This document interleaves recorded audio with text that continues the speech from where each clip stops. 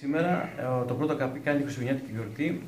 Ε, ανοίγει τις πόρτες του στην τρίτη ηλικία, έτσι ώστε να τους ευχηθούμε χρόνια πολλά για τις γιορτές που έρχονται, για τα Χριστούγεννα, για τον καινούριο χρόνο.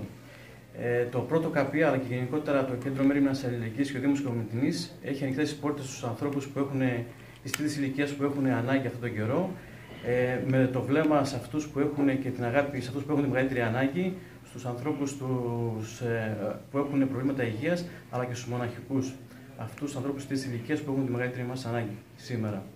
Ε, έτσι προσπαθούμε να βοηθήσουμε τον κόσμο και νομίζω ότι αυτό είναι και το σήμα καταθέν το ΚΑΠΗ, ώστε οι άνθρωποι που έχουν τη μεγαλύτερη ανάγκη να είναι εδώ πέρα και να, να, να, να αναζητούν βοήθεια στο κέντρο μήνυμας και αλληλεγγύης.